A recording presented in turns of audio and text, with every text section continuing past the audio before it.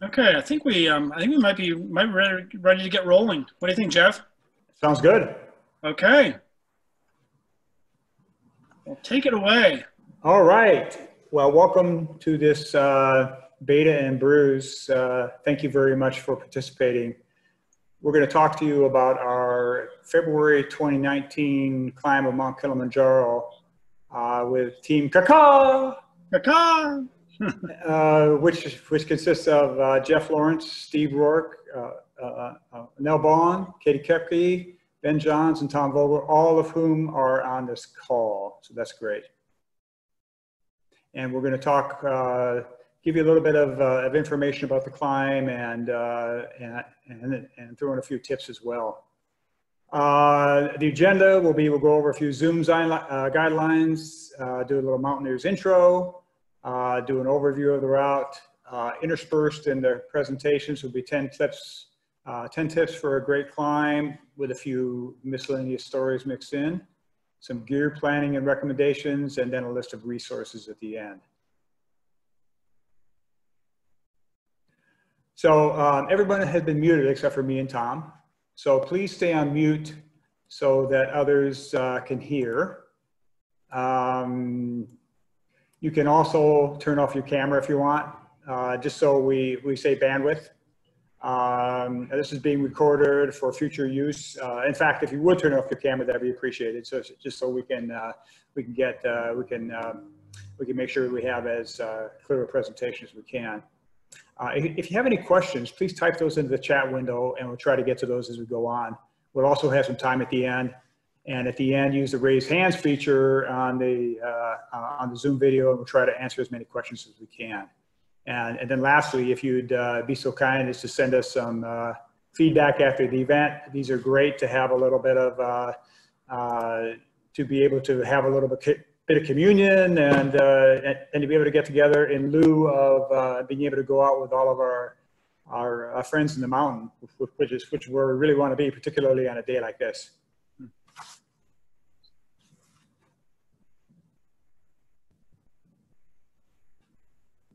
So, um, so the Mountaineers, I think that uh, the most of the people here are aware of who the Mountain is or uh, who the Mountaineers are. I am in, uh, in the Mountaineers Tacoma Program Center. Uh, I live, uh, I live just down the, or up the hill from the Tacoma Program Center. Uh, so I have easy access to it. We were, we were founded in 1906. We have over 14,000 members, branches in Seattle, Tacoma, Olympia, Bellingham, Everett, Foothills, and Kitsap. We're 501c3, so that means we're funded by donations, uh, uh, memberships, and course fees. Uh, like many people in nonprofits, the Mountaineers have been really hard hit by the financial impacts of COVID-19. So if you're in a position to make a gift, uh, I'd encourage you to do so in support of the Mountaineers people places in the books who have touched your lives. Uh, gifts of any size go a long way. Um, the uh, crowdsourcing element really makes a difference in, uh, in, in, helping uh, protect our organization's core, core operations and uh, core principles.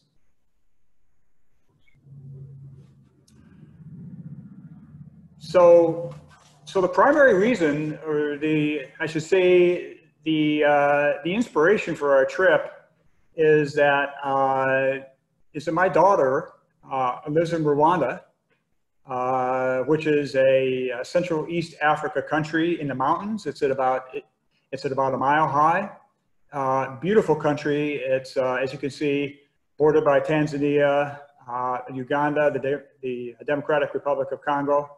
And so, so my wife and I were going to go visit my daughter uh, and her husband, uh, Nathan, and, and my grandson, Dell. Hey, Deli, if you're listening, hi, buddy.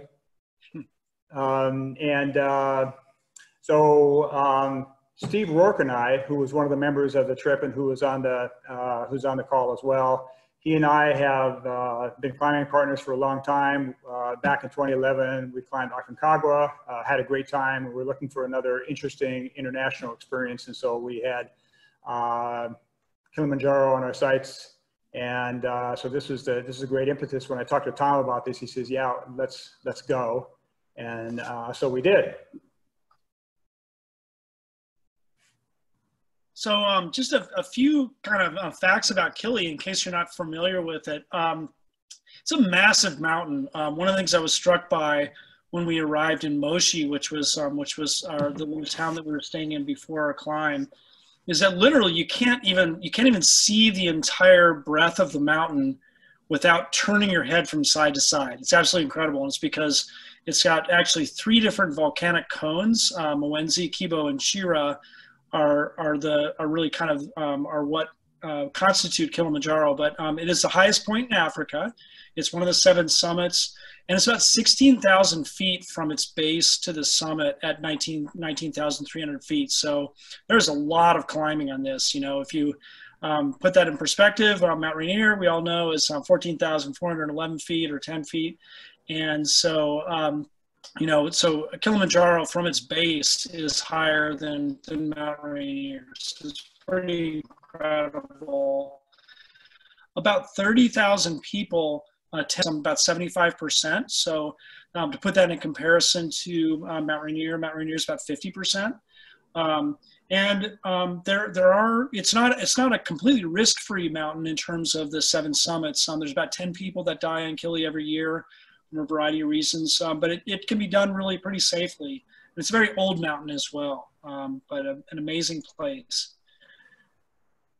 If you're thinking about climbing Kili, um, the very first thing that you want to think about, or one of the first things you want to think about, is um, what route to do. And like many big mountains, there are a lot of routes to um, to choose from and you know some of them are very uh, very kind of well traveled and and really um, you know populated with uh, with guides and you know different amenities on the mountain and everything. And then some are, are much less off the off the beaten path. And early on as geoff and i were talking about and as we started to talk to various other folks that were uh, going to uh, be participants on this trip we decided we wanted to do something that wasn't you know kind of the standard route. So we started to do some research and you know the first step of that is you know you just google like hey which which route should i use to climb kilimanjaro? And it comes comes up with tons and tons of different res- resources. And if you're thinking about it you know i'd really encourage you to do a lot of reading and get a sense of the different routes because they are pretty different from one another. And, um, and that leads us to our, our tip number one is that um, at least from our standpoint, we really loved the fact that we got off the beaten path. The Western Breach is one of the, the least climbed routes on the mountain, and it, it really led to a terrific experience. We really had a, a wonderful um, time as a result of, um, of making that choice. So, you know, doing some of the research here, you know, you've got like this, the standard routes um, like Machame and Marangu um, that are you know, or 45% and 40% of the of the total climbs. And you go on down, and we, we ran across this one called Umbwe, and it says zero percent. And then we're like, well, you know, it's the difficulty is very high, the scenery is very good, and the traffic is very low. And that that we, we were like, okay, that, that sounds like that sounds like our kind of climb. Um, but then we were, you know, we were starting to look at the actual route itself, and there's a lot of variations. You know, the reality is that you know a lot of these trails they interconnect with one another, and so you can do some variations. And so we're looking at the Umbwe route, and, and typically what it does is goes up through Umbwe Cave, uh, Barranco, then it sort of goes over to the east through Karanga up to Barafu and then to the peak. And the you know the doubt we had about that was Barafu is like a really big camp, very you know very crowded and everything else. And we could you know do do something that's a little bit different from that. And we ran across this idea of um, what's called the Western Breach. And if you Google Western Breach, and this is literally a screenshot of the Google um, page. It the very first thing that comes up is uh, Western Breach accident 2015. Kilimanjaro deaths 2017. There's the tragedy on, on Kilimanjaro, and uh, and frankly, I think it's a little bit overblown. Um, but there is some there is some objective danger on this route, and we'll talk a little bit about that. Um, but when you dig into it, it also is one of the most beautiful routes, and and is really an amazing experience. And so, you know, if you're going to think about the Western Breach, I would I would encourage you to read about some of the accidents that have occurred, and um, and think about your risk profile. But I do think that the Western Breach can be done safely, and um, and so we'll we'll talk more about what you know why why we made that decision and what it's what it's like. But um, but it, you know if you're thinking about this route, I would definitely um, you know take a look at some of those um, some of those statistics and whatnot. And um, and this is a this is a Google um, Earth image of um, of the Western Breach, and you can see it right in the middle there. Um, Arrow Glacier Camp that's indicated on here is where our high camp was before we did our summit, and you can see this massive. Um, it's just basically like a rock slide that's down the side of the mountain, and I think it was either you know it was either a a, a big rock slide that happened you know many thousands of years ago, or some kind of a volcanic event but it created this feature that um, it um, it's it's amazingly beautiful and um, there's a lot of loose rock as a result of it, but it's um, but it's also you know a really pretty amazing route as as well. Um, I'm going to stop for just a quick second and see if um, if Safe or Innocent or Moody or Rashid are, are with us, and, and if so, I wanted to ask Rashid or Moody a, a quick question. So. Rashid or Moody, are either either one of you there? If you're I there, see, you can just indicate in the chat. Yeah, and I see I see Safe is on, which is great. Oh, excellent. All right, but I'm not sure about. Um, we'll come back. We'll come back to Safe here in, in just in just a minute. But hopefully, Rashid and um, and Moody and Innocent will be able to join us at some point as well. Um, so that's a little bit about the um, about the the Umbwe uh, Western Breach route, and here's um, that same map that kind of shows what our what our actual route was. So we kind of went up here on the Umbwe itself to Barranco Huts, then up to Lava Tower to Arrow Glacier. We summited and then came back down to what's called Millennium Camp, and then back out the Mweka um, was was the route we ended up doing. So it's a little bit of a of a hybrid route. Back to you, Geoff. Great.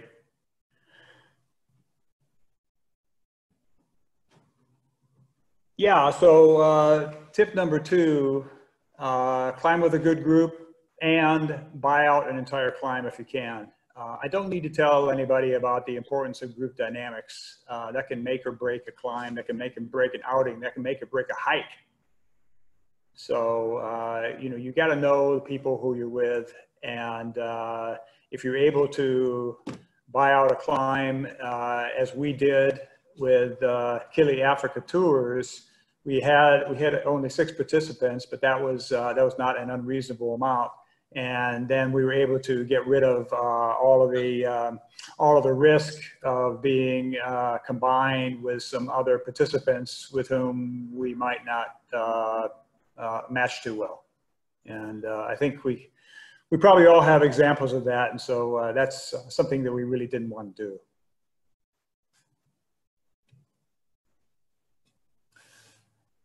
So, um, uh, you know, I, am not really sure how uh, how we determined that the name of the team was Team Kaka. but we uh, one of the first nights that we went out in, uh, or, the first days that we went out to uh, looking for lunch in um, uh, in uh, in Moshi before the climb, where we uh, after we got there and we're and we're looking around for a place to eat, we got a recommendation for this place. We saw we saw Kaka's, and we thought that that kind of cemented that that this uh, this absolutely should be Team Kaka. So that's uh, that's who we are. And uh, there's, there's my friend Moody, who's there in the in the corner with Team Kaka, who we'll introduce in just a moment. So um, Team Kaka is is myself uh, Steve Rourke, who is uh, uh, who's my climbing partner, and uh, and so Steve and I have climbed a lot. Uh, as I mentioned, we went to to uh, to Aconcagua in 2011, had a successful summit there. Just had a fantastic time, and I think that that really what cemented it with Steve is that we not only had a great time on the mountain, but, but we got done early and we spent and we uh, spent a week in town drinking wine and eating steaks, and that kind of that kind of cemented that. Yeah, this is a guy who I who I who I like to spend time with. Uh, so anyway, that was a that was a big indication. So so we had to do another one in El Kilimanjaro. Uh, Katie is a, a friend of Tom's, and her climbing buddy is Nell. And so I thought, okay, I can I can go with uh, I can go with a, a friend of Tom's, but uh, and uh, then by kind of transition, we can go to Nell. And and I think if uh, if everything he says about how great Katie is, if if, uh, if Nell is half that good, then we're then we're okay. So that was our uh, uh, those were our next two. And and to round out was Tom Vogl, who's uh, sporting the Moss mustache, which uh, which I've actually uh, I've actually taught my grandson how to do. He likes to do Moss mustache too. You'd be happy to know, Tom. And uh, Ben Johns, and and I will say that they shared a tent, uh, but that uh, but the photograph in the lower left-hand corner has nothing to do with that.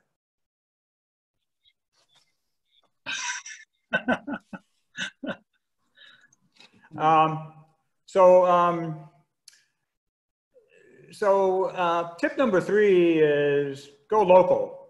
And uh, so we, when Tom and I were talking about this, Tom had uh, had the idea that he wanted to do a collaborative climb, that we wanted to do, that we wanted to get a, get a group and we wanted to have guides and porters and so forth with whom we could be peers and climb with and enjoy ourselves. And uh, so uh, actually, uh, Safe Juma, who is uh, uh, shown here on the uh, on the screen, who who you hear from in just a moment, is the uh, is the CEO, the founder, and the owner of uh, of uh, Kili Africa Tours, and he reached out to Tom via a, a Facebook friend request, and Tom responded, and he was so responsive, and we communicated a lot over the uh, over the ensuing half a year or eight months or nine months or whatever it was. And uh, we ended up hiring him and State's a pretty amazing guy. I mean, at this, at this time, I think he was, uh, he was at the ripe old age of 29.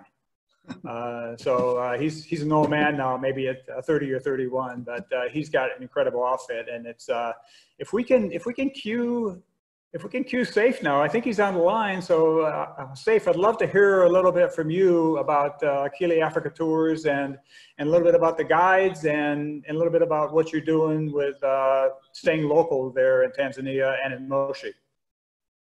And Safe, I think I unmuted you, so you should be able to talk now. Yeah, uh, Geoff, uh, I'm sorry, can you repeat your question?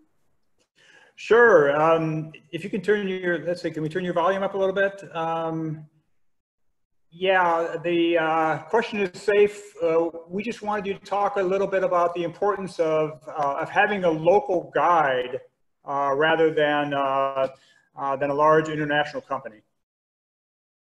Okay, yeah, of course, you know, you guys, uh, when you are, are, planning to make a visit in Tanzania, it means you have some uh, goals. You want to come to Tanzania to explore the beauty of, uh, of Tanzania, but also to support the local people. So uh, if you book your trip, yeah. So provider, um, as I understand, you use a lot of the of the same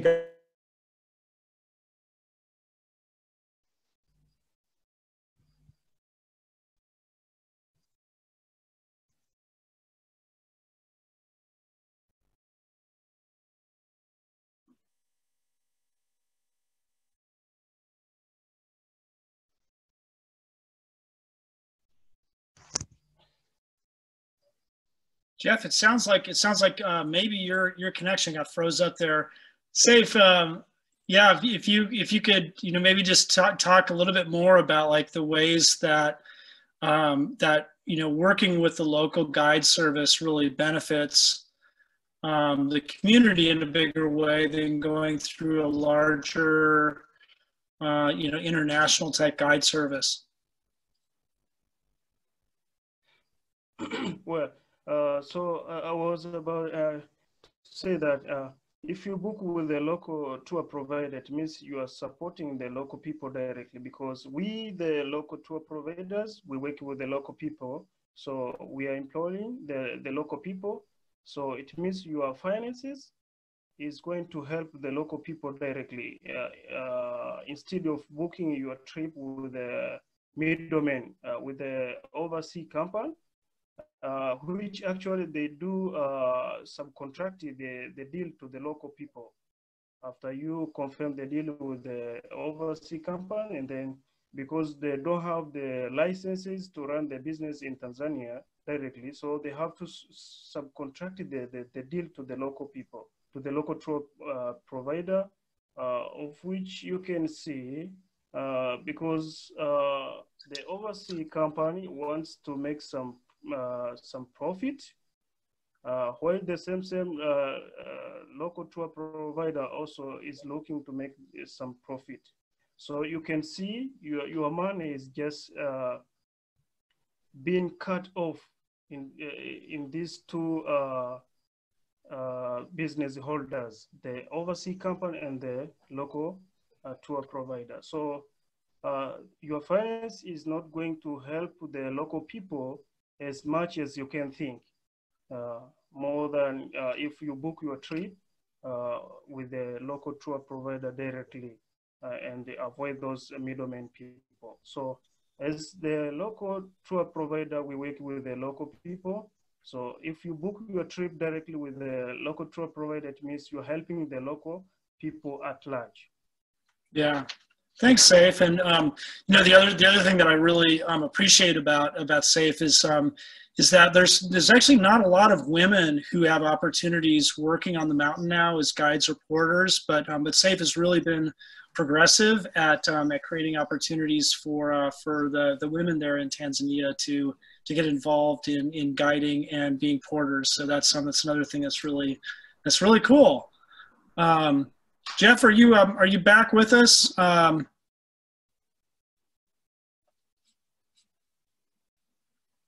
I don't hear Geoff. I'm gonna I'm gonna continue on, but Geoff, if you are if you come back in with us, um, let me know and can pick back pick back up with your slides. So as Geoff as Geoff said, you know, um, I I got to know um, Saif on um, on Facebook actually, and he um, you know he and I talked before we uh, before we um, made our trip to uh, Tanzania, and um, and one of the things that was really cool about uh, working with uh, with Kili Africa Tours was that we wanted to do a trip that was a little bit unusual, where we had an itinerary that was uh, that was you know kind of um, you know customized to what we wanted to accomplish, but we also wanted to we wanted to climb um, like we were peers. And and so it was really nice being able to um, to have that you know that level of collaboration with our with our guides uh, Rashid, Innocent, and Moody were really terrific. And you can see here these these are some pictures um, of both our guides and porters, and they work really hard. They um, they they call themselves mountain warriors, and they are very deserving of that title. Here's another another picture of of our crew. We had, we had a big we had a big crew. You know, we had six of us, and um, we had three guides, a cook, and 23 porters. And and I think actually uh, we packed a little bit lighter than than many groups do, and so we were able to uh, we were able to have a, like a slightly smaller group of porters, but. Um, you know, it's uh, it sounds like a really big group, but it, um, it it contributes to a great experience, and you're you know you're supporting a lot of a lot of jobs by by climbing on Kili with um, with uh, with a group like this. Yeah, we'll talk about the cook a little bit later on. Oh, there we go, Geoff. You're back. I'm back. Okay, I'll let you take back over. Yeah, so I think I um, I think I'm about ready to hand it off to you. Uh, but uh, yeah, this is uh, this is a group. This is actually we had we had intended to start with a uh, start with a celebration at the, on the last day where we had a uh, last day at the Millennium Camp where we are going to uh, climb, come down the rest of the way. We came about halfway down to to the Millennium Camp, and we spent the night there before we came down to the gate, the Mweka Gate, the last day. But, uh, but this is a picture, a still picture of the group of, uh, of uh, guides and porters, the cook, cooks uh, on that uh, on that morning. But uh, just just an outstanding group of people. We'll talk about that a little bit more as we go on. Terrific. So, um, so Moshi um, is a town in um, Tanzania, east of the international airport, Kilimanjaro International Airport, which um, is uh, sort of equidistant to from Moshi and, and a bigger town called Arusha. And that's where most people start their, uh, start their, start their trip. And that's where we started. And that leads us to tip number four, which is don't be in a rush. Um, you know, and I would, I would um, say that, you know, for the entire trip, um, pole pole, um, go slowly. And part of that is, you know, coming, coming to Tanzania on the front of the trip, it's a long flight. You have to fly either through, um, through Amsterdam, some people fly through uh, through Dubai, but it's about 10 hours to get either Dubai or um, or Amsterdam. You have a layover, then it's another 10 hours to get down to um, to uh, Tanzania, and so you're going to be you're going to be wiped out. So have a couple of days at least on the front end. And one of the things that allows you to do is like have some really cool experiences. This was a picture of Steve um, uh, or uh, front of the trip um, where you can buy art, you can um, you know, do eco tours, um, a plantation tour of uh, coffee plantations. There's a lot, a lot to do, but um, but don't be in a rush. And and we had a lot of fun actually, uh, just hanging out in Moshi, going out, walking the town, going to the local markets, um, eating some of the local foods. So it's a it's a way that you can have you can extend your experience and then be well rested when you when you actually get on the mountain itself. There's a couple other photos of that.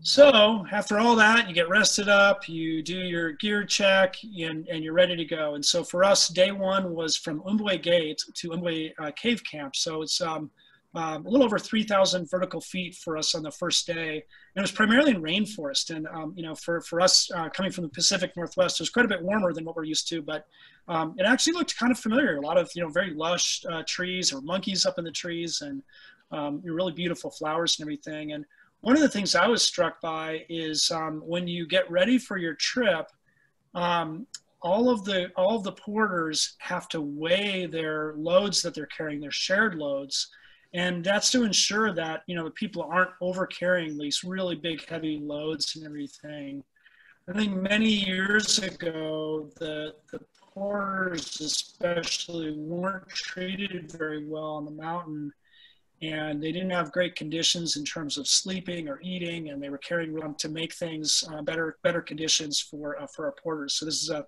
picture at uh, Gate um, of the porters weighing in their loads. And um, I think about 33 to 35 pounds is the limit of what they can carry. Um, one of the other things that's really cool about, about Kilimanjaro is you go through all these different ecological zones. There's four or five distinct ecological zones. We started off in the rainforest and then you get into the moorland or the heather, then to this highland desert um, area, and then finally in the Arctic. And one of the things that's um, striking about that, if you look at these, um, these me median temperature ranges, is that you could go from 80 degrees Fahrenheit at the base of Kili to zero degrees at the summit and, and or even colder. So some pretty extreme temperatures. And um, so keep that in mind when we talk about our recommended um, gear, gear packing. Um, so here's a, here's a picture of us uh, walking up um, the trail, starting off from uh, from Umbwe Gate, and um, you can see this uh, this picture of this this porter. I can't remember if this is uh, this might be Gordon actually, who is carrying the um, our table that from the dining tent on his back, which is kind of amazing. And you'll see, you know, other pictures of the other porters working so hard to provide a great experience for the for the guests. And you know, here's another another picture, which uh, you know this could almost look like uh, like it's in the Pacific Northwest here. Um, very lush. We're in short sleeves and shorts, and and we were all pretty sweaty by the time we got into into Umbwe um, Umbwe Cave Camp. There's a picture of Nell. Um, one of the things that was also really cool is like every day you got in, and the porters had gone had gone ahead way faster than us, carrying big loads.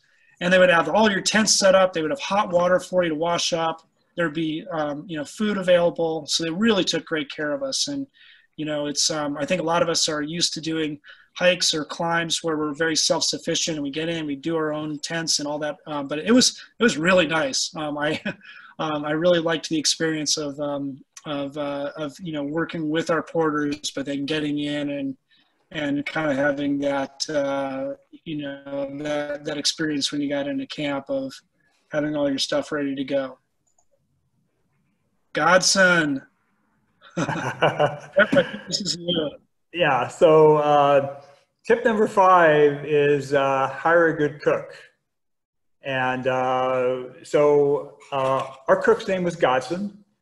Um, when we arrived in uh, in Moshi and we got situated in the in the hotel, uh, first of all, Safe and his team picked everybody up at the airport, took us to our hotels, gave us uh, delicious bananas and uh, uh, bottles of water. Got to the hotel, and then it was either the first night or the second night. He brought the he brought the team of the guys, and of course the stomach engineer Godson in to meet the team. And uh, so we, uh, that's a very important part of the, uh, of the trip. Uh, I, I uh, have some, uh, some dietary restrictions. I'm, I'm, I'm a celiac, so uh, I was a little bit concerned about that. You know, I, I, I didn't want to, I didn't want to uh, spend the entire trip in the bathroom, and so I was a little bit concerned about uh, about about my diet on there. But but I got to say that they uh, that they catered to uh, every need that they, either I or anybody else had, and and uh, we we ate like kings. I want everyone to note also that Godson entrusted the eggs to nobody else but himself to carry on his back. yes, those yeah, are fresh the, eggs. Those, yeah, that, that this little green uh, these green cartons up here. These are fresh eggs that, that he carried all the way all the way up and down the mountain. Incredible. So, um, so we had uh, we had uh, three squares uh, a day. Uh, when we would arrive, this is this happens to be at the uh, at the Lava Tower camp. But when we would arrive at the camp, uh, typically, as Tom mentioned, our tents would be set up. a mess tent, which was this blue tent with the with the comfy seating and and the bottles of water were always uh, set up in advance of when we got there. Um, and um, so for every meal, we, uh, Godson and the Saidi, who was his assistant, uh, started out with started out with a lot of hot tea. I mean, there's a lot of emphasis on hydration, as, as a lot of us know. It's uh, uh, it's always or it's uh, uh, sometimes hard to remember to hydrate. So there was hot tea and coffee that was available all the time, and every meal started with hot soup. And so we were able to get a lot of the hydration through hot soup, uh, followed by followed by a main course and followed by dessert. Uh, lots of fresh fruits, lots of fresh veggies. Uh, I don't know about everybody else, but I lose my appetite when I'm when I'm on trips, and so it was often pretty hard to consume it all. But it was always always really great, and uh, the hydration part was the most important. I mean, there were just absolutely delicious soups, and the, and the meals were, were fantastic. I think, as you can see in the front here, there's a uh, uh, there are uh, fresh avocados, and uh, so, the, so the meals were fantastic. Uh, so yeah, so um, uh, lots of lots of hydration, lots of good food. we were able to generate a lot of, of heat in the tents, and uh, Godson was always there and happy. And he he would uh, he had a he had a good collection of uh, of uh, uh, aprons too. Uh, so he had, I think, an apron from every client who who he'd ever who he'd ever cooked for. And so every day, every meal, it seemed like he came came to to serve the meal with a different apron. So we were we were very impressed with that.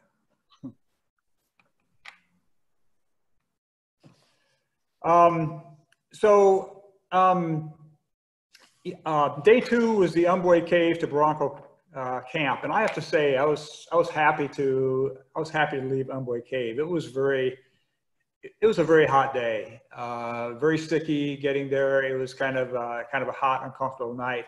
But this was, uh, in my estimation, this was the most beautiful day.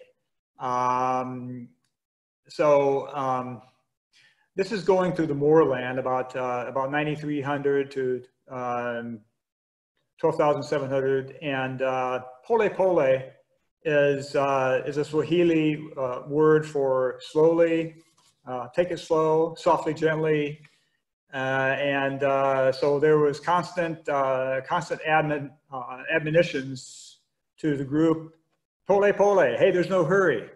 enjoy the trip. We'll get there.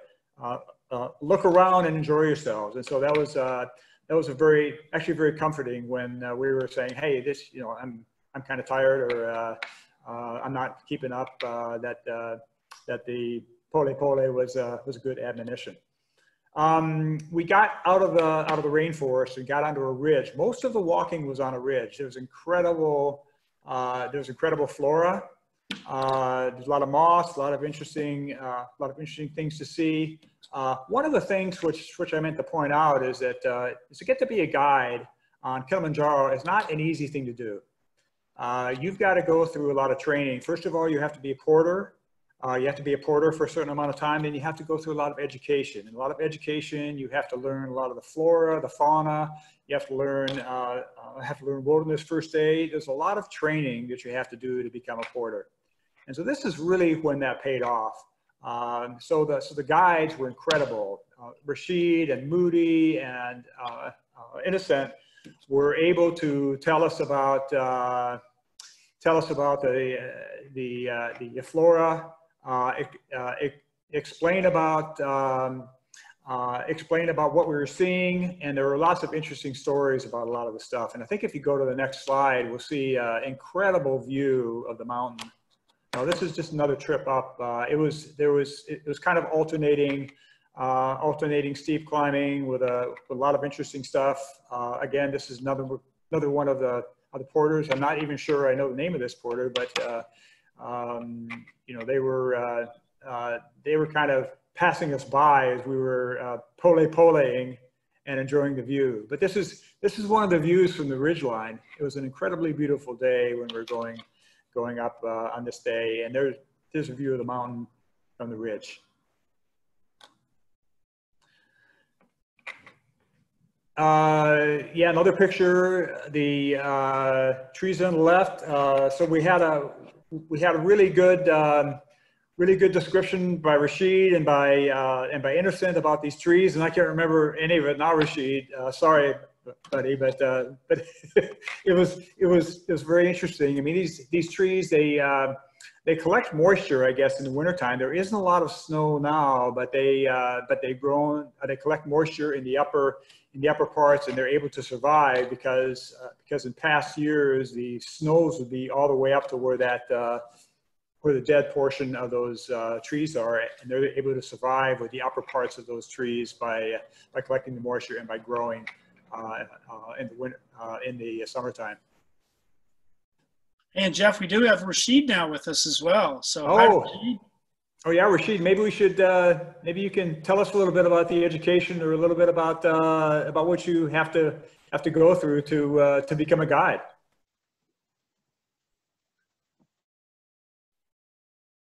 I think I have you unmuted if you want to. Or maybe your microphone's not on. Anyway, Rashid is. Uh, well, yeah. Okay. Um, anyway, we'll see some other pictures of Rashid. There is uh, actually there's another picture later on where he's giving a tutorial on this incredible on this incredible plant that uh, was actually one of the spikes from this uh, from this plant on the right. Uh, on my left is my friend Innocent, who uh, actually is a very good guide, and uh, uh, we we really enjoyed the uh, company of all the guides, and uh, they all they all actually went with us to the summit. Uh, uh, uh them and a couple of porters. Uh, so we, I mean, another really interesting thing was that the guides um, often don't get to do, go on the interesting kind of climbs that they really want to do, like the Western Breach. And so that was a feature that they were able to do with this trip, which they were excited about.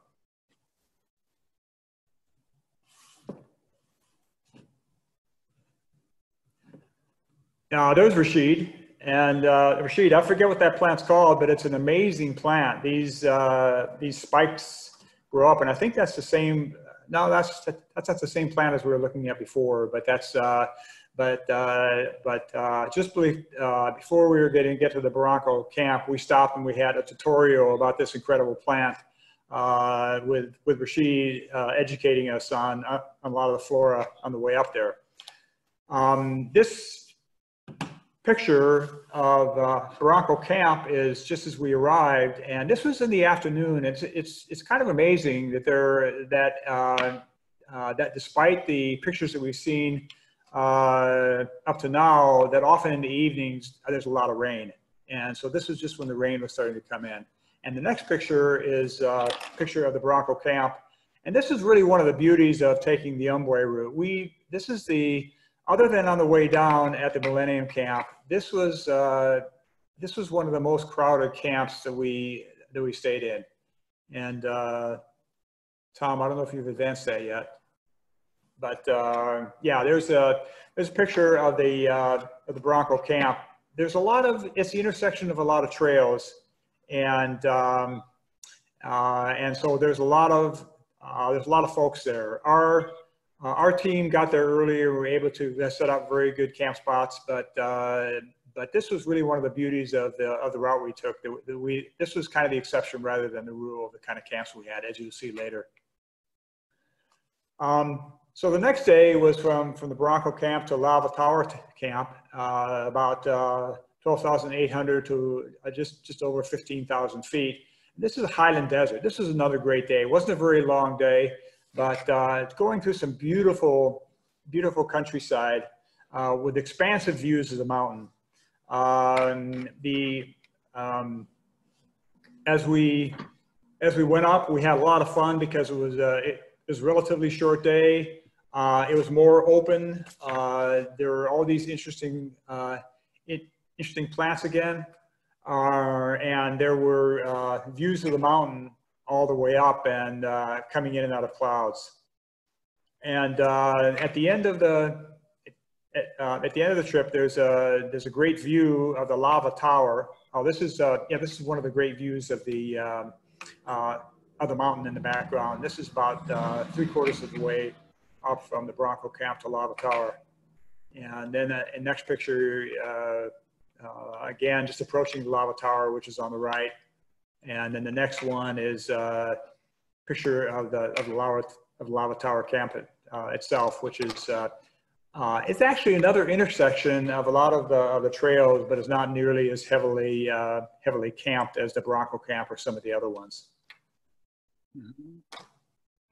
Yeah, one of the things that, that, that was interesting about Lava Tower is that it's um, it's actually used as a stopping off point uh, for many people to acclimatize. So Lava Tower is about 16,000 feet and or a little less than 16,000 feet. And so people um, will often come up to Lava Tower, have lunch, and then we'll go down to a camp like Barranco where they can, you know, kind of climb high, sleep low. So that's a, you know, it's a way of, of acclimatizing um, which leads us to tip number seven, which, um, you know, Geoff already talked about this before eat, drink, and rest well. Um, you know, one of the keys to feeling good on a long trip like this, and, and especially going to higher elevation, is, um, is to really, you know, really kind of practice just typical um, self-care in terms of you know your hydration especially but um, but really eating even when you don't feel like it um, and then trying to rest whenever you can. And sometimes, you know, the resting might be just, you know, getting in in the afternoon and having a little bit of a nap or,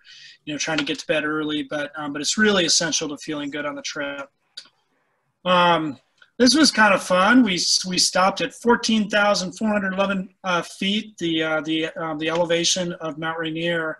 And it looks, it looks more desolate here than it actually was. This is Nell and Innocent and myself. Um, but there still are plants up here. There are birds flying around. It's kind of amazing. You know, you think about, you know, for those of you that have um, that have climbed Mount Rainier, how desolate it is, and you know, it's usually just howling wind and freezing cold.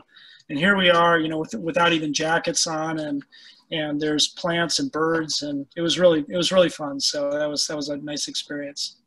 So here's some more shots of us at, at Lava Tower. You can see um, in this picture we are we are wearing like all of our clothing. Um, Nell Nell looks freezing. We actually we all look freezing. It got really cold at Lava Tower. Um, and you can also see um, it's interesting in the upper right that um, there's uh, there's almost no other tents at this point, I think we were one of maybe two groups that were actually camped at Lava Tower, coming through and going down to Barranco. Um, but very few groups were actually camping up at Lava Tower. Um, absolutely gorgeous. It was one of my favorite camps on the mountains. Mm. Yeah. So then we uh, get to day four, where things start to, you know, really get interesting. So, um, so Lava Tower um, is um, is about 15,000 feet. I said 16 um, earlier, but um, we we then hiked up to um, to Arrow Glacier, which is about 16,000 feet. So not a lot of elevation gain, but we were all starting to really feel the altitude at that point, and you're really getting into the Arctic zone.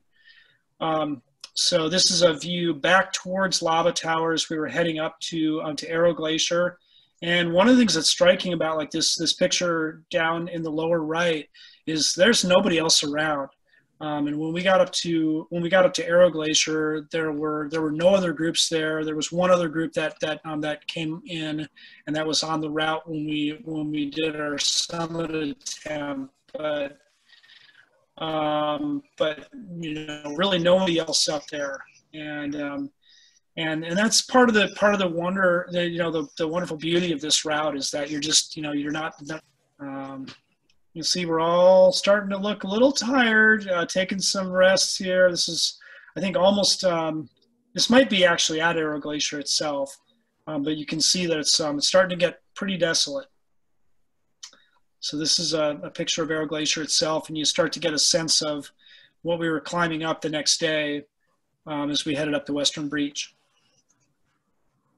this is a picture um, that I took, actually. I think I climbed up on the ridge above camp, and you can see that we've got our three tents and the mess tent and a couple of other tents for porters and guides. But um, but other than that, we were we were pretty pretty lonely at Arrow Glacier. That brings us to tip number eight, which is to uh, manage your acclimatization really carefully. And um, we um, we did this trip as a seven-day itinerary, and our original plan. We'll talk in, here in a few minutes about um, about our summit day, but our original um, intent was to go from Arrow Glacier up the Western Breach and then sleep at the um, at the crater and then do our summit and then come back down. And um, and we we decided actually um, we kind of made an audible on the morning that we were heading out from uh, from Western Breach to um, to go up and over the mountain um, summit and then come back down to Millennium in part because we were kind of concerned about um, going all the way up over 19,000 feet and then um, sleeping, you know, yet again high and then working our way down. And that was really, um, you know, kind of a judgment call that we made in conferring with um, with our guides um, to to make sure that that we were doing well from from a um, from a an altitude standpoint. You can see this picture here of Ben and Ben and Steve, and I think I probably looked similar, but you know, we were all choking down food at this point. You know, none of us really had much of an appetite at 16,000 feet, and it certainly wasn't because of uh, Godson's cooking. It was just that we were all, you know, sure. starting to feel it. Um, and um, uh, about half of our team was uh, was taking Diamox at that point, um, just to to help to control the you know the feelings of altitude sickness. Um, but like I said, we um, we woke up um, the next morning and um, and decided that um, you know that it might be a better idea for us for for a couple of different reasons to um, to alter our itinerary. Originally, we were planning on having um, all of our porters go up the breach with us, um, camping at the um, at the crater, and then heading down. We were also a little bit worried about um, about the porters and and carrying those heavy loads up the western breach, and so we uh, we got together with Rashid and Moody and Innocent, and we discussed our you know our concerns and and we talked about it, and we decided that we were going to do one big push, go to the summit, and then meet um, the rest of our group back over at Millennium Camp, which is down um, a little bit over 12,000 feet. So we ended up um, climbing the Western Breach just with um, with our party, our three guides, and two porters, and then sent the rest of the group around the mountain. Yeah, so I got to say, uh, uh, one of the one of the features uh, we were taking such good care of. Every evening in the mess tent, at the end of dinner, we would have a we'd have a team meeting, and uh, and Rashid, who is the head guide, would come in with the other guys, and we talk about the next day and about what we're going to do. And that was after we did uh, we did uh, uh, we did oxygen saturation levels and we, we talked about how we felt and uh, you know there's a lot of uh, there's a lot of care going on to really kind of assess hey uh, where is this team? How they doing? What can they handle? Uh, so we we met uh, that that night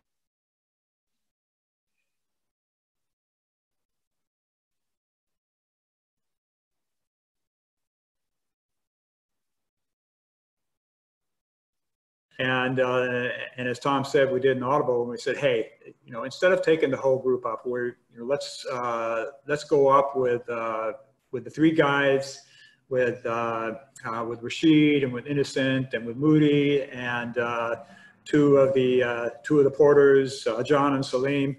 And, and then, and then the rest will go around and they'll meet us at the Millennium Camp. and that was, that was a really good call. I mean, um, I think you see that to carry all this gear up the Western Breach probably uh, isn't, uh, uh, I don't think would have been a real good decision. Uh, so at any rate, that's, that's the decision we made.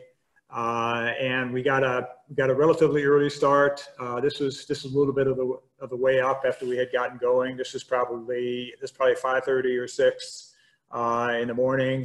you know, it's almost on the equator. So you have almost equal, almost equal day and night. So, um, uh, and, and I got to say, there, uh, there really isn't a tremendous amount of objective danger here anymore. And I think that's probably because there isn't a lot of ice and snow anymore, uh, unfortunately. Uh, but uh, you know, the objective danger on this uh, on this route was a lot less than a lot of stuff that, that we'll see here in the Northwest on any any outing. So I mean, we felt we felt very comfortable very comfortable doing it. Uh, another thing about that was that was really cool is that uh, uh, is that the um, I talked to uh, Innocent and Rashid and Moody, who were the guides, and they've had a lot of years of guiding, and they've guided a lot of trips. And I think that they had been up the Western Breach maybe two to four times each ever. And so it's just not that uh, common an occurrence that they go up the Western Breach, and they were excited to go up. I mean, this is this is the kind of thing that they really really like to do. And it was it's a, it's an it's a really interesting route. It's a really beautiful route. So they were they were very excited. And there were a couple of the other porters who were very interested in going up too. And they were they were great additions to the team as well. So um, yeah there's uh, uh, there were some absolutely beautiful views on the way up. Um, it was a cold crisp but not uncomfortable morning um, it was uh, it was below freezing, uh, but uh, probably not a lot below freezing. And uh, Tom, I don't know if you're advancing the uh, screen, uh, but um, you know we took um, we took helmets, um, and and I think the majority of us took some micro spikes. I think I wore micro spikes for for a little bit of the way. Uh, I don't think every, everybody did. Uh, crampons weren't needed. We all carried crampons as well because uh, we're not really sure about what the conditions are going to be. But uh, I'd say that it's um, it's it's challenging, but it's challenging because of the altitude, not necessarily because of the of the climbing. I'd say it's uh, class one and two uh, with some with some short short sections of class three scrambling on the route up. but with the altitude at nearly uh, uh, 18 and a half or 19,000 feet, it was a little bit uh, slow going. Um, so, um, as I say, there isn't a lot of objective risks. There's not a lot of snow. There's not a lot of ice. There's not a lot of uh, there's not a lot of uh, places that I could see that there could be a lot of releases with the warming temperatures as a as a day wore on but there it was it was it was absolutely beautiful. You can see on the picture on the right. Um, this was this was near the top. Uh, we went through a lot of scree and uh, talus fields on the way up, but, but as we got toward the rim, which on the picture on the left is uh, just above that uh, those uh, uh, those cliffs on the left, it got to be really beautiful and really really interesting scrambling at that point. Um, so we, um, yeah, um, we um, took our time, Pole Pole. Uh, took our time. We stopped for rests. Uh, um, I mean, we wanted to get up because uh, if there was any objective danger, we wanted to get uh, get around that. But the but the closer we got up, uh, the uh, the less objective danger there was. And uh, we um, I don't remember the time. Tom, do you remember what time we uh, we we we breached the rim? I think it was maybe close to 10:30 or 11. We breached the rim. Yeah, that was that was what I was thinking, Geoff. Yeah, it was probably probably you know between 10 and 11. Yeah, yeah. So, um, um, so we got up to the, we got up to the rim, popped over, uh, took a rest there, um, uh, had some, uh, uh had some good, good laughing, some good stories. We shared some, uh, uh, shared some good times. And of course, Tom had to do a, a snow angel. Had to be done. absolutely. It's a must do.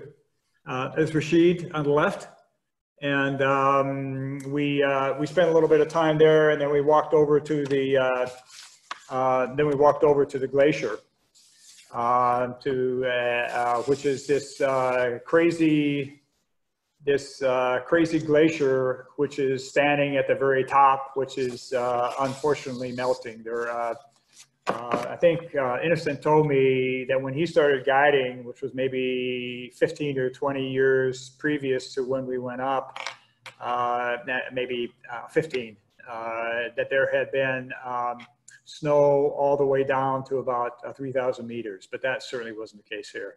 Mm -hmm. And I see pictures from just a few years ago that this that this glacier was was a lot higher. So we got to the glacier, spent a little bit of time there, took some pictures, but then we had to go, uh, but then we had to go up to the, um, uh, we had to go up to the summit. Uh, and uh, uh, uh, the Uhuru Peak is about, is probably about three or 400 feet higher than, higher than the crater rim. And by that time it was getting hot. And so we had to go up as, up the left or up the left portion of this uh, of this snowfield, and uh, it was it's like one of those days in the middle of the day when you're going up a glacier. It was just so incredibly hot, and uh, by that time, I don't know what the temperature was outside, but uh, we were just uh, uh, very hot and sweating. It wasn't a long way, but but we got up to the top and got to the summit. Had our had our great had our great summit celebration uh, the whole team assembled here. Uh, and it started to cloud over. Uh, that's uh, it was it was it was the early afternoon by that time, and uh, kind of the kind of the routine is that the mornings are beautiful, and then it starts to cloud over in the afternoon, get a little rain in the middle of the afternoon, and then it clears up again at night. So after we after we reached the summit, uh, as Tom mentioned, we had decided earlier that we wouldn't stay on the summit, uh, and I think uh, all of us were kind of happy about that, even though we had a long downhill slog. Uh, on the way down, uh, it was a little bit cloudy, overcast. There were some other incredible glaciers on the on the way down, uh, but in honesty, it was it was just a long slog. We had about we had about 7,000 feet to go down to the Millennium Camp. Up at the top, it's uh, fairly steep, and this is where the trekking poles really came in handy. Uh, you know, there's a lot of uh, a, lot of knee fatigue. Um, I think I lost a couple of toenails on the way down, uh, but uh, it, it, was it was a long it was a long trip. Uh, the cool thing was when we got to the Millennium Camp, um, probably about probably about a mile or a mile and a half from the Millennium Camp, uh, the, uh, the other uh, members of the team had gone down to the camp and the, and the whole thing was set up. And so about a mile and a half up the trail as we were going down the Millennium Camp, we had a, a group of porters come up and to carry our gear down right? They they were at the camp and they came up to carry our gear down and to give us a drink or give us something to eat. And uh, so we were we were relieved of our uh, of our heavy packs about a about a mile and a half before we got to the Millennium Camp, and uh, we got back there, and of course we had the mess tent, uh, tent set up and the and the soup made, and we were able to uh, able to take off our shoes and kick back, and uh, so that, it's just uh, that's just another example of how uh, how incredible the team was. Yeah, so definitely. You know, I think it was probably what 13 or 14 hour day. So you know, relative to you know to some stuff that, that probably many of us have already have done is you know not necessarily as long, but it was hard. And I I think um, you know for me anyway that that hike down from the summit to Millennium Camp was that was that was the probably the hardest part of the trip was was actually the downhill going into Millennium Camp. I don't know about you, Geoff, but that was yeah. my sense. I think so. I think so.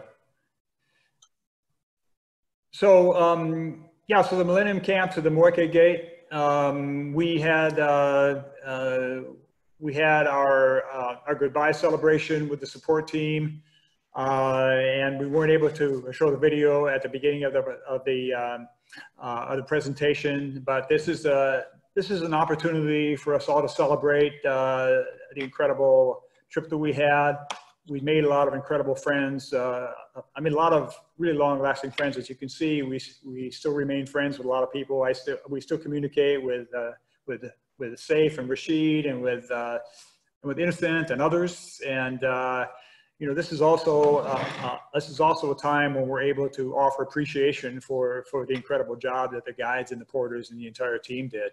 Um, we we got some instruction. We got some instruction in tipping, which is a really important part of the um, of, of, the compensation that the guys and the porters get. Uh, and uh, we had, um, I, I really hope maybe we can uh, post this somewhere, Tom. But the uh, but the video we have of the uh, of the celebration with uh, John leading the leading the group was was really an inspirational mm -hmm. an inspirational morning. It was a really, really incredible day. Yeah. Yeah.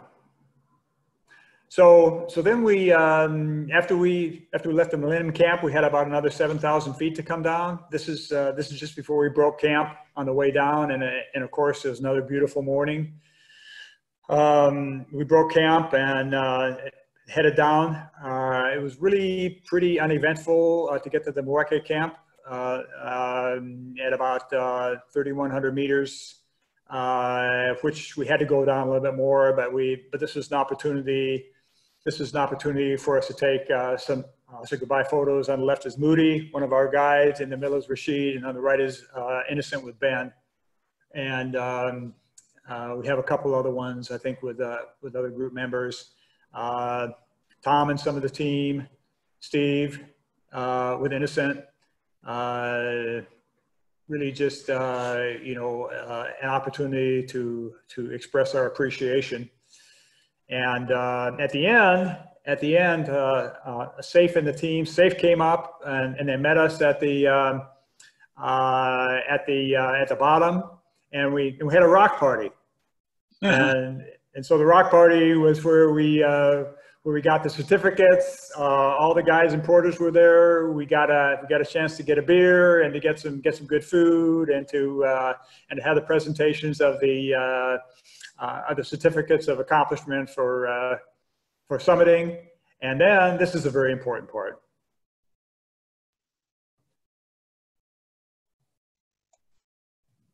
Yeah. So tip number nine is obviously do some good.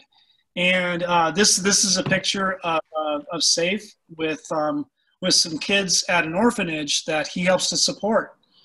And um, you know, um, I think we were all struck by just how wonderful the people are in, in Tanzania, and um, but also um, it's it's a country that um, that is that you know is pretty poor, and you know, and and I think that you know as a Westerner traveling to a country like Tanzania, you have the opportunity to really, you know, experience the culture, but you also have the opportunity to do some good. And so, you know, one of the things we chose to do at the end of the trip was to make a contribution to uh, to the orphanage there in Moshi. And um, and on this next page, um, you see a picture of uh, of some of the food that um, that that Safe um, was able to provide for them. Um, but the other thing that's um, that's an important thing to know um, going going over uh, to do a climb like Kilimanjaro is that and you can see in this picture in the upper left here with uh, with John and Rashid and the the, the porters. Um, that you know the the gear that they're wearing is um, is really modest, and you know um, there's there's people that are uh, they're porters that are climbing in tennis shoes or even sandals. And so um, one of the traditions of climbing Kilimanjaro is um, is passing on some of your some of your gear. And so I think each of us in our in our group um, left a pair of boots or a sleeping bag or a jacket or you know other other gear that can help to um, to outfit the um, the porters and the guides that are working so hard on this mountain and providing a really wonderful experience for all of us that that go there and climb on their mountain. And so, you know, I would really encourage you to to think about that if you're going to do a tour on um, or do a climb on Kilimanjaro or or uh, you know go over and, and do you know do a, um, a safari or some local community and really you know leave a little bit of a legacy behind. And then, um, you know, similar to uh, one of the first tips, which was don't be in a hurry uh, when you when you arrive. Um, don't be in a hurry to get home either. Uh, there's there's um, there's a lot to do in um, in a country like Tanzania, other than just climb a mountain. And so um, I think, you know, when I was originally thinking about this trip, I was kind of mostly fixated on the climb itself. And I almost wish we had added a few few extra days on the front end or the back end because it's really amazing. So, um, so about half our group ended up doing a um, doing a coffee plantation tour afterwards. I think Geoff and um, Geoff and Steve. Uh, this is some, these are some pictures of the, of that tour, and then uh, Nell and Katie and myself and Ben um, did a safari. And I think our, our safari was three or four days. Um, we went to Ngorongoro, to um, to the um, Serengeti, and then also to um, gosh, what was the name of the last last one? Safe might have to might need to help me out with the with the uh, last one. But anyway, just got to see some amazing some amazing things. So here's just a few pictures. We could we could go on for hours about the about our um, about our safari, but it's really remarkable. So um, so definitely would uh, would strongly encourage you to to stay on and and add a few days onto your trip and and um, and just experience all the other wondrous things about going to East Africa. So um, we're we're about at the end here. Uh, Geoff and I think wanted to just spend a few minutes to talk about some gear recommendations and then some other resources, and then we'll open it up for uh, for questions. But um, Geoff, you want to kick off some gear recommendations? Sure. Um, so the so the guide uh, the guide um, the uh, the guide limitation is about is or for uh, for 33 pounds max uh, in a in a waterproof duffel. Uh, so so basically you need that what you have in your gear a maximum of 33 pounds and that includes your sleeping bag anything else any other things you want to bring with you and then you can carry whatever you want and you know we've uh, I think we we typically uh, most of us took like a 20 to uh, 30 liter day pack. Uh, obviously, boots are uh, are very important. I wasn't happy with my boots. I bought uh, few months before supposedly the same boots of that were no longer produced from from Scarpa, and they didn't they didn't work as as well as I'd hoped. But but you know how that goes. Mm -hmm. um, uh, rain gear, as I mentioned a couple of times, is there's a surprising amount of gear, of, uh, uh, of rain in the afternoon. So uh, we were we were recommended by the guides and by Safe and his team to uh, to make sure we had rain gear, and we were all happy we did. We're kind of poo-pooing it on the on the front end. We're really really glad we did. Yeah, and um, you know, depending on, on how warm or cold you sleep, um, a warm sleeping bag is um, is is really nice thing to have. have. I, I tend to sleep pretty cold, so I think I was in a zero degree bag, and um, I think that you know maybe some others had it slightly warmer, but um, but it does get really cold. Like Lava Tower was probably um, that was probably one of the coldest nights, and um, I I was cold in a zero degree bag, so you know, I think that carrying a warm sleeping bag is is a good idea. Um, it does, you know, um, frequently get below uh, below freezing. So um, whether you're using water bottles, I tend to use water bottles instead of um, a CamelBak. But um, if you use a CamelBak or some kind of another hydration system, just make sure that it works in freezing temperatures and have a backup there. Um, Geoff talked about like you know that that hike down from the from Uhuru to Millennium Camp was it was seven thousand vertical downhill, and so um, you know the trekking poles are great for the uphills, but especially for the down for the downhills are really good. Um, all of us had you know warm warm down jackets. That's that's essential. I had down pants, and I think I think um, Team Kaka teased me the first time I pulled them out. But by the time we got to Lava Tower and to Arrow Glacier, there was no teasing. So down pants are great, personally. Uh, comfy camp shoes are, are, um, are a must. Okay, so tent number number one and number two. So you can see this picture of Nell over here, and there's this little there's this little tent, and that was tent number one and number two. It's for going number one and number two. Well, actually, really mostly number two, but um, but we we uh, our our tents were all numbered. I think that Geoff and and Steve were in number three. Ben and I were number four, and Nell and Katie were number five. And we were like, what? Where where is where is number one and number two? We determined that this is number number two, but.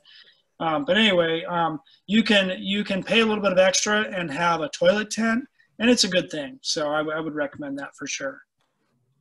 Anything we missed, Geoff? Helmets, I it was was one that you yeah. know mentioned mentioned earlier. If you're going to do the the the, uh, the Western Breach, a helmet is is, is really recommended. Um, depending on the conditions, um, you know, either micro spikes or crampons would be a good idea. Yeah, yeah, and the uh, and actually the helmets were a good leave behind too. I think we we all left our yeah absolutely uh, helmets behind. Yeah, left our yeah. Yeah, so a couple resources. Um, there's more information on the on the Western Breach, um, uh, a Safe Juma's guide service, uh, KiliAfricaTours.com. Um, you know, local company, outstanding service. I mean, both Tom and I would highly recommend it. I mean, uh, I'm I'm sure there are other guide companies, but I mean, we we can't imagine that they we would have had a had a better time, and the and the amount of care that was taken was incredible. Um, uh, we'd all recommend travel rescue insurance. Uh, it probably won't be needed, but however, we did see uh, there were a number, we did see a couple helicopter rescues while we were on the mountain. I think there was a picture of that uh, in, in, in one of the slides, and a lot of times that won't be covered. But if you have a uh, supplemental travel insurance, here's a couple of couple of resources for that. And then a couple of other uh, couple of other resources uh, that are down below for which are uh, which you can access if it'd be useful. Great. So we're we're about eight fifteen. We can maybe do like about fifteen minutes or so of uh, questions if um, if anyone would like to either type something in the chat box or unmute yourself and um, and ask a question.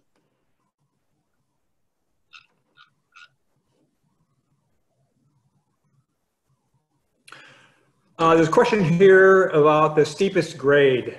Um, yeah, steepest grade. Um, gosh, I wouldn't know how to say it in terms of a grade, but as I say, it was typically, I'd say, uh, not much more than class two scrambling. There were a couple of uh, class three sections. Would you say that that's that's reasonable, Tom? Yeah, I would. I, I think that's right, Geoff. I mean, I, there were, you know, there were definitely sections of the Western Breach that, that were probably class three. The thing that I worried about the most and was being really mindful of is that, you know, you're, you're approaching um, 19,000 feet. And so, you know, it's, um, it's, you know, you're, you're working hard and, and you're maybe a little bit lightheaded. And so just being very deliberate about your motion and everything. But, um, but I didn't, you know, relative to, stuff that many of us do in the Cascades. You know, I didn't feel like it was um, like it was overly technical. If you've done some scrambling or you know um, even even some just you know backpacking or hiking here in the Northwest.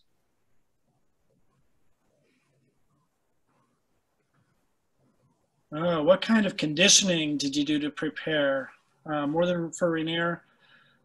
I don't know about you, Geoff. I I mean, I, I think for most of us, we did, you know, we did, we did, um, you know, like a, like a little bit of, um, you know, hiking with, you know, whether it was going up uh, to Camp Muir or, um, you know, mailbox peak, um, a lot of a lot of the kind of typical kinds of things you do to um, you know to get training. But I think that hiking with a with a day pack and getting you know getting the vertical and doing the up and down is probably the best way.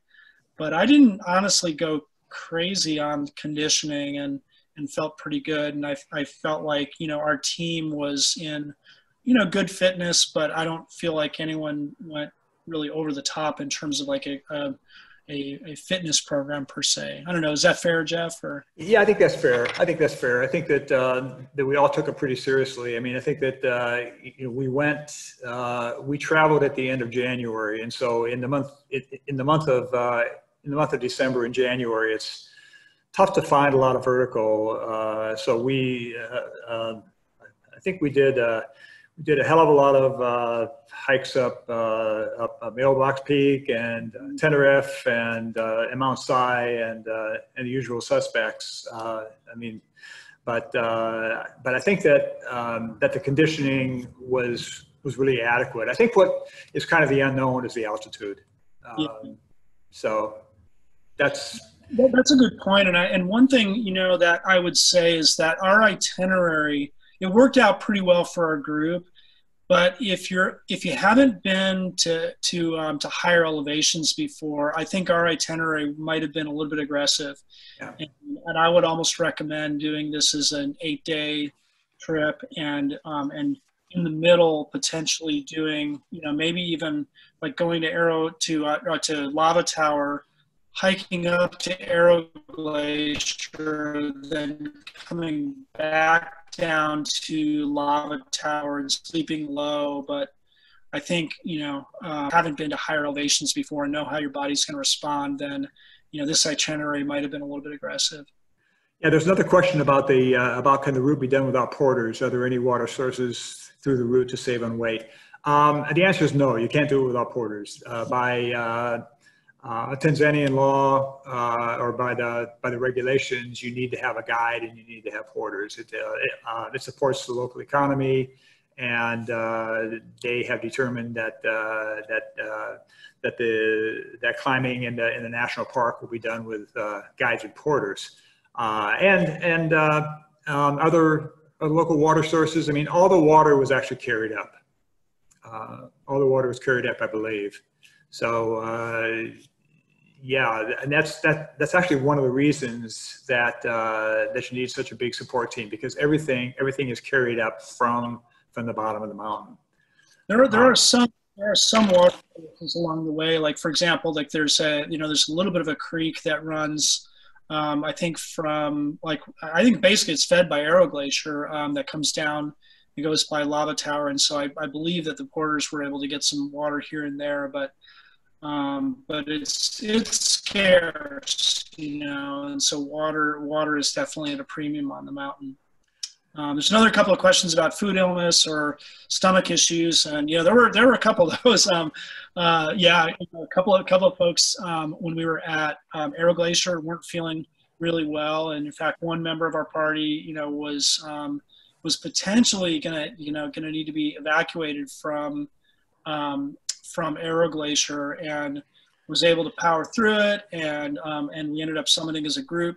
Um, but, um, you know, but I, I was, I was um, super impressed at the, the, just the handling of food and water and, you know, like I never felt like, you know, like um, even though I like I had I had you know, purification tablets with me and everything, I never I never used them on the mountain. I, I felt really confident in the way that um, the food was being handled and that water was being purified and and um, and I most of us didn't didn't have uh, GI issues and everything. So yeah, as uh, as I said earlier, uh, I, I have got uh, I've got uh, gluten gluten issues, and so I was really impressed with the uh, with the level of care that was taken to address that. In fact, there were there were uh, there were several meals where I would I got a specially prepared part of the meal uh, where there was uh, care taken that there was no uh, gluten introduced into it. And so uh, I, um, I, I didn't have any stomach issues, which I was very pleased about. Mm-hmm. Yeah, I thought the food was terrific. Yeah. In Godson we trust. In Godson we trust.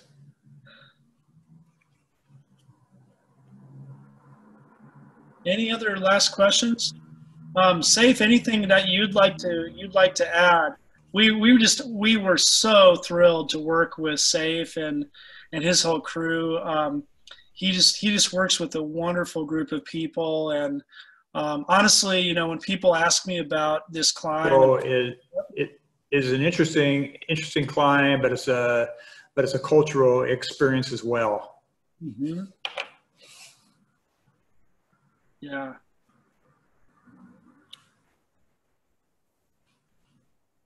Well, great. Um, well, I think that's um, that's that's probably it as a, as a wrap.